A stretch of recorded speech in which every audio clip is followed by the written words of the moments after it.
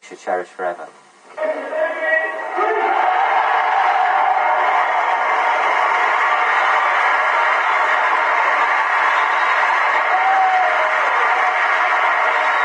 The next celebration came before the last home game of the season against Barnsley.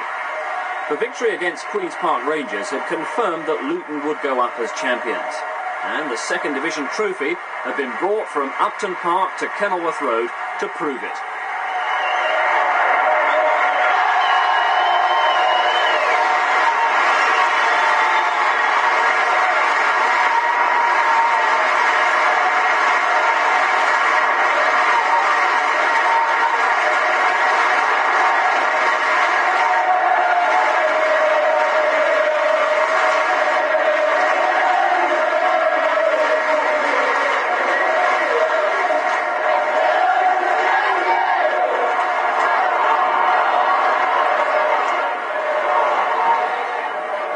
After those celebrations, a one-all draw against Barnsley ended this historic season. The match remembered for a magnificent late equaliser by Brian Stein.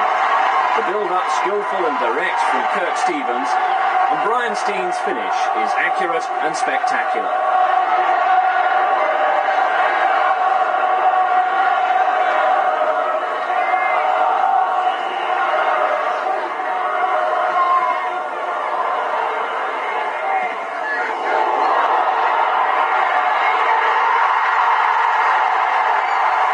Brian Stein's 21st goal of the season and surely one of his best.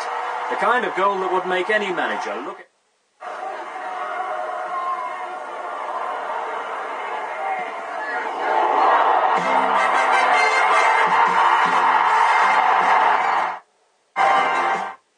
to life in the First Division.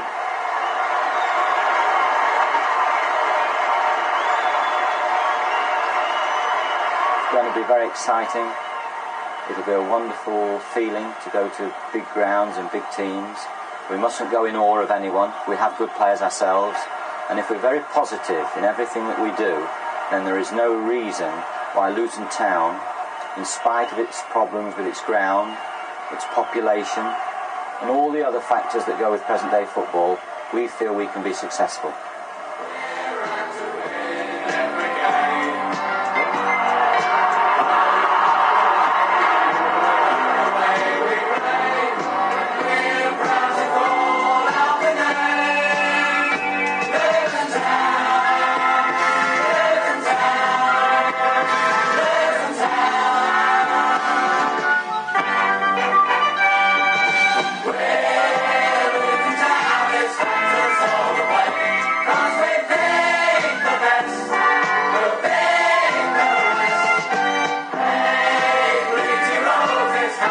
God.